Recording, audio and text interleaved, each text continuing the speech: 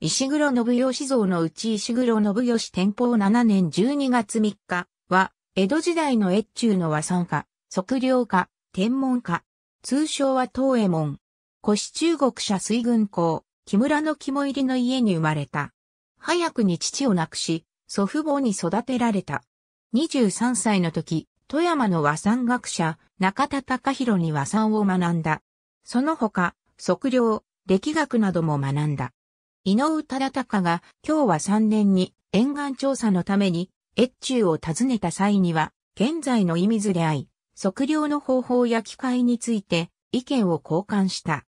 伊能は8月1日の都から越中に入り、8日までに越中海岸全体の測量を終えている。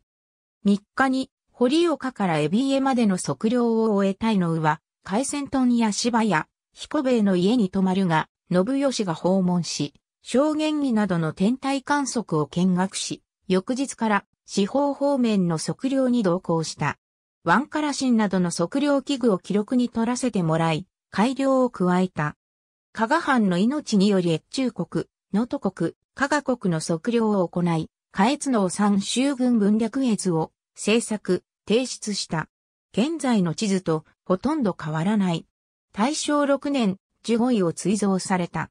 石黒信義関係の書籍、文書、地図、測量器具などの遺品は、射水市の一般財団法人、高木会、高木文庫が所有している。